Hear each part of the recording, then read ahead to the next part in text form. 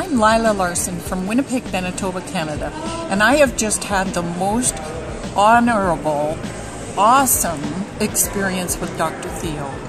His gift of being able to see who I am and where I'm blocked, and then to step forward and offer suggestions and a method that allowed my blocked heart to open up has just been so freeing so encouraging, so liberating that things that were locked inside, wounds, hurts, energy, that is no longer the case. I feel like my heart has healed, and it's only as a result of Dr. Theo's gifts, his insights, his wisdom, his methods, his gift his gift is just so.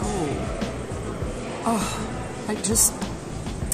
I'm so grateful. I'm so grateful. It's just. I've never experienced this kind of freedom, this kind of liberation, this kind of healing.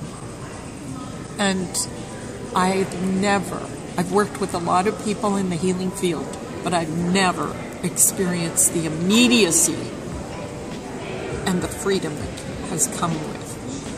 Thank you, Dr. Theo.